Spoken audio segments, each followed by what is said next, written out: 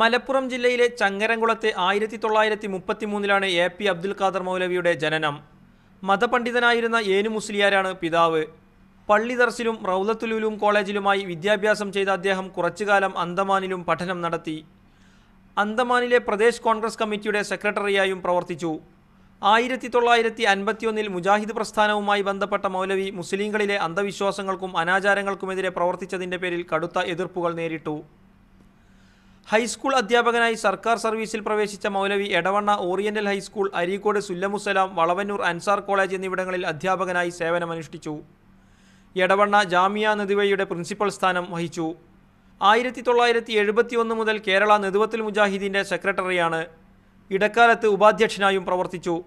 അറബി ഉറുദു തമിഴ് ഭാഷകളിൽ നല്ല പ്രാവീണ്യമുണ്ടായിരുന്ന മൗലവി ദൈവവിശ്വാസം ഖുർആാനിൽ എന്ന കൃതിയുടെ കർത്താവാണ്.